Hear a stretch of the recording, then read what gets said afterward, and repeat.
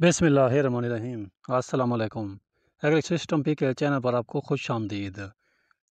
آج تاریخ ہے دس جولائی دو ہزار چوبیس. تو میسی ٹریکٹر کی طرف سے قیمتوں میں اضافہ کر دیا گیا.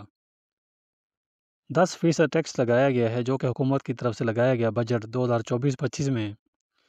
اس کے بعد میسی کمپنی کی طرف سے بھی نوٹیفکیشن آ چکا ہے.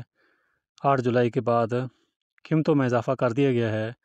دس فیصد تک قیمت میں اضافہ کیا گیا ہے ٹریکٹر کے حساب سے میسی نے تمام ماڈلز کی قیمتوں میں اضافہ کر دیا ہے۔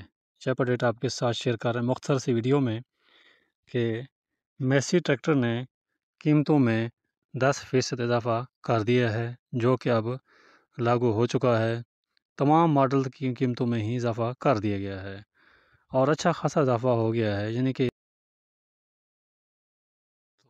باقی اگلی ویڈیوز میں آپ کے ساتھ تمام ماڈلز کی تفصیل اور ٹیکس کی تفصیل اور قیمت کی تفصیل بھی شیئر کریں گے یہ اپڈیٹ آپ کے ساتھ شیئر کر رہے ہیں۔